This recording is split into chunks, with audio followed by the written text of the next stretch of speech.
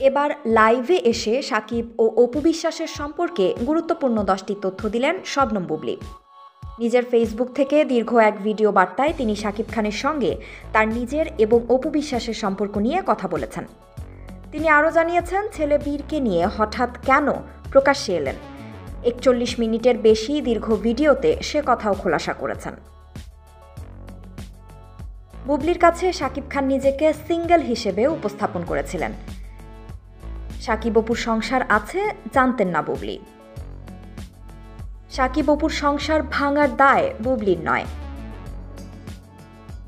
শাকিব খানের কথা অনুযায়ী অপু বিশ্বাস তিনবার বাচ্চা নষ্ট করেছেন। চতুর্থবার অনেকটা বাধ্য হয়ে তিনি সন্তান নিয়েছিলেন।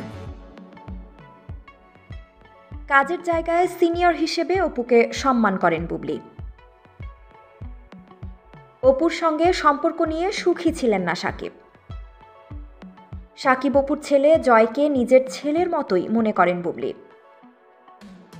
জয়ের জন্মদিনে ইচ্ছে করে বেবি বাম্পের ছবি প্রকাশ করেননি বুবলি। সন্তানের অধিকার আদায় করতেই মুখ খুলতে হলো বুবলিকে। পুত্র বীরকে বার্তা, বাবা শেহজাদ, মা হয়ে তোমার পাশে সারা জীবন থাকব না বাবা, কিন্তু অন্যান্য মায়ের মতো তোমার জন্য অনেক কষ্ট করেছি এবং করছি।